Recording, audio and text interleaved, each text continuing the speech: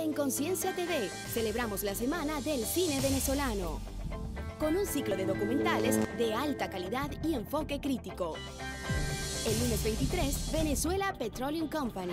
Martes 24, Más allá de la mina.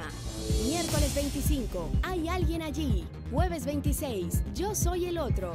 Viernes 27, Paraíso Septentrional. Y el sábado 28, el gran estreno de Mickey, de Kaori Flores. Semana del Cine Venezolano. Del lunes 23 al sábado 28 a las 8 de la noche. Solo por Conciencia TV. Saberes e Independencia.